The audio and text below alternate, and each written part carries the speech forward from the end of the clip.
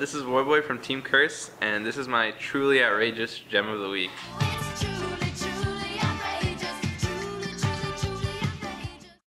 So my tip of the week is when you're playing Akali, make sure to keep in mind your true ranges of escape when you're making plays. Um, something that a lot of Akali players just don't think about enough is their ability to jump to jungle camps, and you can do this in two ways. You can throw down your Twilight Shroud and gain vision of any camp on the map, um, or you can even trinket over a wall and jump to the camp, and using both these tools can just help you make really flashy escapes.